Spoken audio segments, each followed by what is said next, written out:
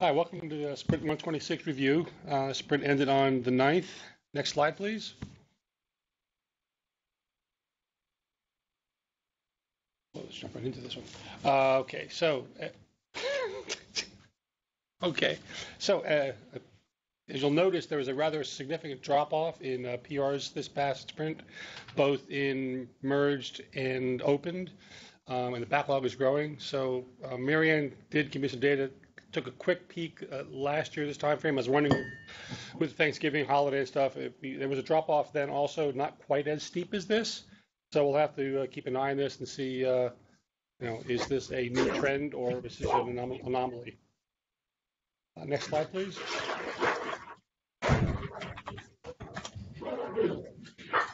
And just the distribution of PRs by, by type. Um, you know, still had a large number of enhancements coming in, and refactoring was number two um, which is kind of what we expect right now.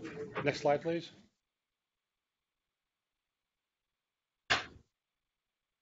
And the overall health report, um, the only, the big jump outs there are the, uh, the IQ Classic, the other issues, 70, 78, and then ManageIQ. Um, again, this, the data on this has been problematic, so let's just take a look and make sure uh, it's actually valid. And we're still looking to probably maybe a different uh, different report going forward. Next slide, please. And now this slide comes to play. Okay. So we'll have Carol do the community. Uh, Harpreet will go over UI. Adam will discuss providers. Um, Tina will do automate. Uh, Joe V will do the platform. Mike is there for QE. And next slide, please.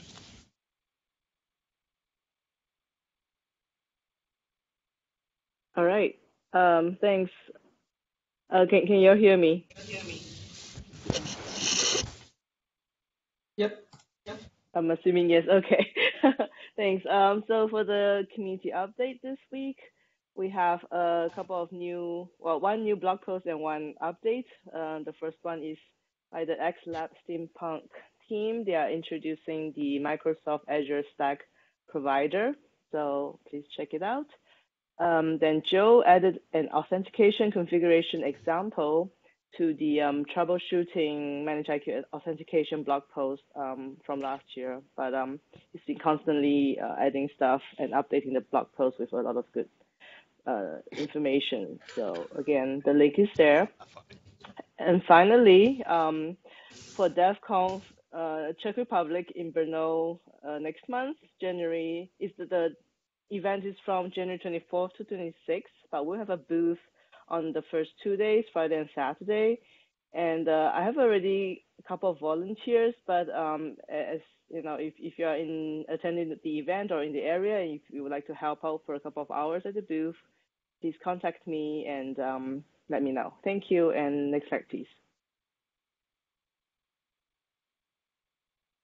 Thanks, Carol.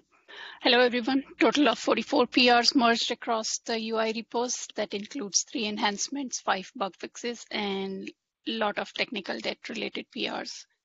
Um, for the bug fixes in this sprint, multiple issues were fixed in Control Explorer on Action Edit screen. There was an issue that was fixed with deleting and editing of existing attribute value pairs, and also an issue was fixed with edit of description field on existing action record a JavaScript null error was fixed on machine credential edit screen while trying to read an options hash when options were not saved for a machine credential record. Um, a save button response issue was fixed on user edit screen when changing group assignment for the user. Similar type of uh, issue was fixed with save reset button availability on subscriptions screen in Configuration Explorer. And the next two issues were kind of related to each other. Issues were fixed with custom buttons and dialogues. This was an edge condition caused by deletion of a custom button that was associated with a dialog, causing issues with deletion of dialogues from UI and also some issues with adding button groups and custom buttons under existing groups. So that got fixed. And for enhancements, V2 will, V2V will be having a new setting to configure the maximum number of concurrent conversions per VMware host. In order to prepare for that, it made sense to rename existing max concurrent tasks per host in into max concurrent tasks per conversion host to reduce the confusion. And for the next two items, I have screenshots to go over. So next slide, please. In plan creation wizard on type and schedule step, in case of some of the selected VMs can't be pre-copied.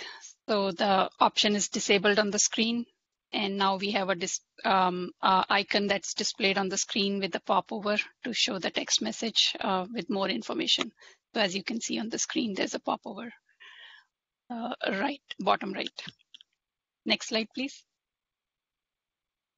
New RBAC features were added under reconfigure VMs features in roles features tree that allows user to limit what a user can see on reconfigure VMs form based upon their role. As you can see on the screen previously, a user used to see all of the fields on the form, but now those can be limited based upon the user's role. And that's all I have for the UI. Over to Adam.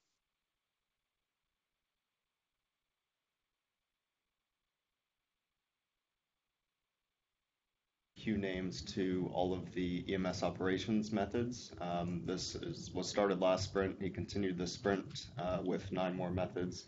He has a nice list of all of the ones that he has to change, and he's almost done, so I'm sure it'll be completed next sprint. Uh, Keenan was moving some logic for queuing uh, capacity and utilization targets out of the base metrics capture class into uh, a place where the providers could override it. So it's basically all just the same code moved into a place where it could be modified by different providers. Uh, Oleg improved the VM scan test coverage for two providers, OpenStack and SCVMM. Uh, this is so that we can feel a little bit better about the refactoring that he's doing to improve the pluggability of Smart State. Um, and there's a nice overview on that issue there. OpenStack enabled targeted refresh for volume templates. There was an issue where if you created a new uh, bootable image uh, for a template and then immediately tried to provision, it wasn't uh, it wasn't there because a full refresh hadn't run yet. So now uh, you can do a targeted refresh for volume templates, and that improves the usability for um, that that workflow where you're creating a new image and then immediately provisioning from it. Next slide.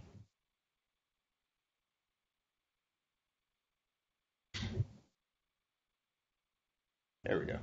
Um, so last sprint, I think it was last sprint or two sprints ago, they removed the option for V3 uh, for oVirt.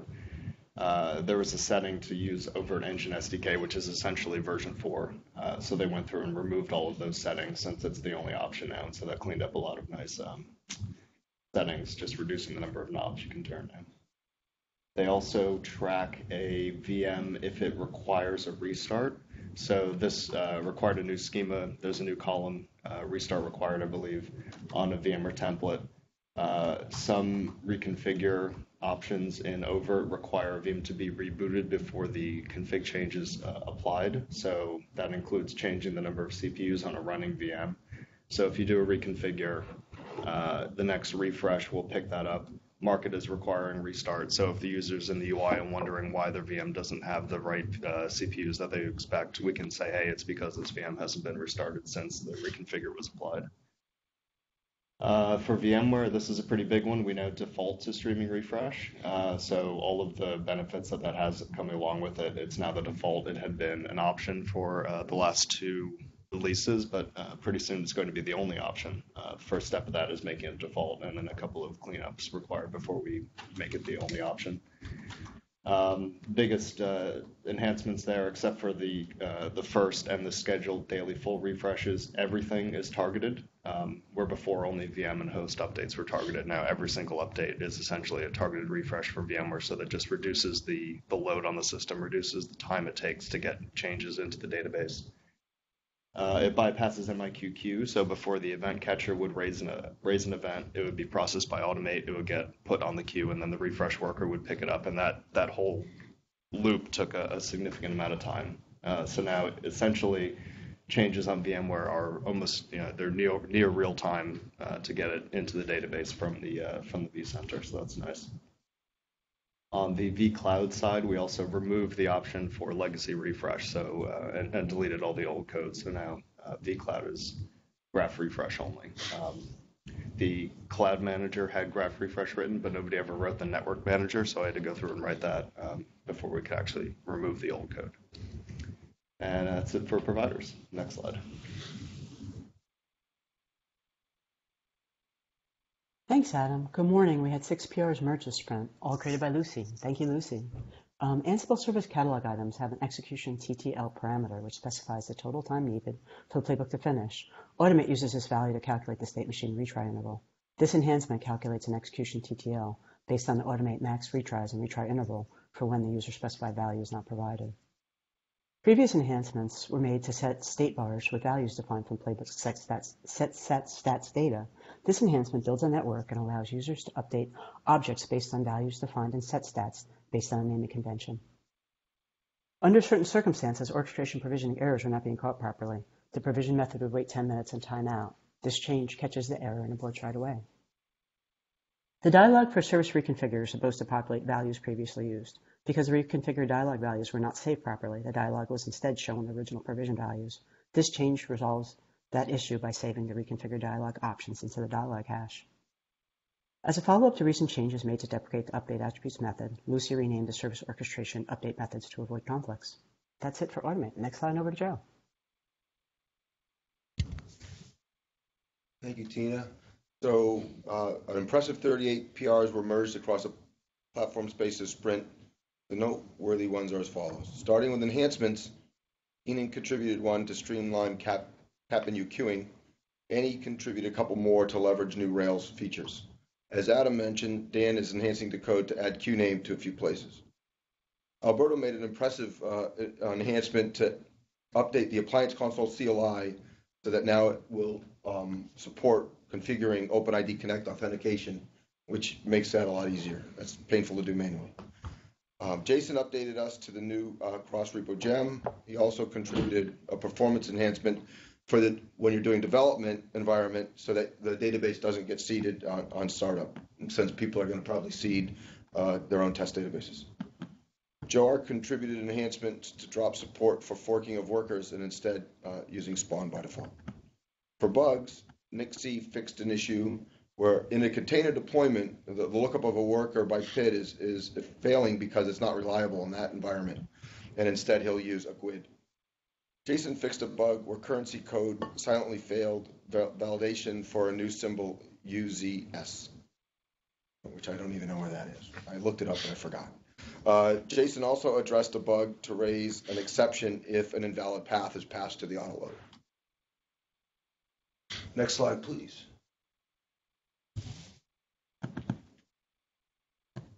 Next slide. There we go. Okay, for technical debt and refactoring, Libor addressed some with the renaming of the model chargeback rate detailed currency, which is a mouthful, to simply currency. Nixie addressed some technical debt by removing the wait for stop before restart monitor status and review, removing the method MIQ servers restart worker, since it really doesn't restart the worker anyway. Uh, Nixie also simplified MIQ server monitor workers by removing the sync message variable and the return value. This PR also provided a performance improvement by greatly reducing the number of loops through the server's workers. NXC removed the sync of the blacklist events, which really only needs to do to trigger a, a settings reload. Dan improved the all EMS in zone method by returning a relation instead of an array, avoiding an unnecessary creation of the object. Dan also removed the no longer used orchestration stack class, classes method update stack queue.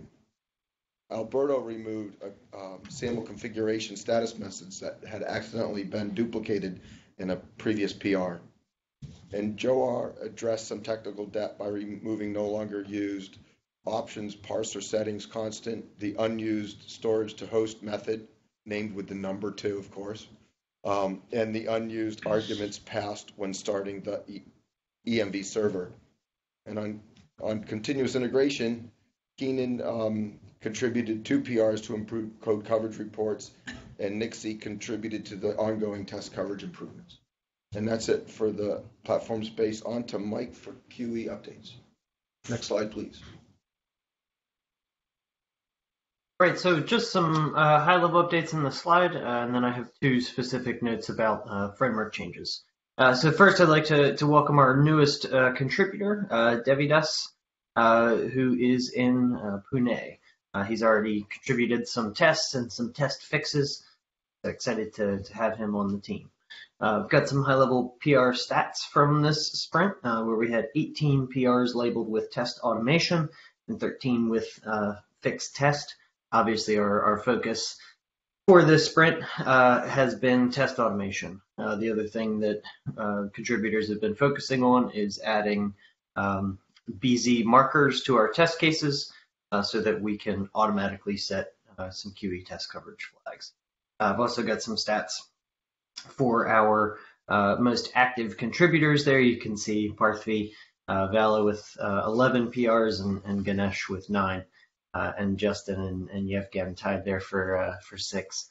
Uh, the framework changes uh, that we saw that had some impact uh, were one uh, fixes from Yevgen for our uh, Artifactor uh, PyTest plugin, uh, which was blocking some test results from getting properly uploaded to our result tracker.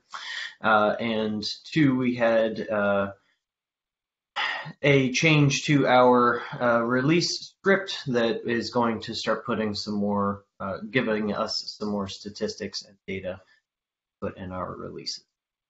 So that's pretty much it for, for QE. Thanks. And that concludes uh, the Sprint 126 review. The next review will be on January 8th. That's a four-week sprint because we have the shutdown coming up soon. So we'll see everybody in four weeks. Thank you.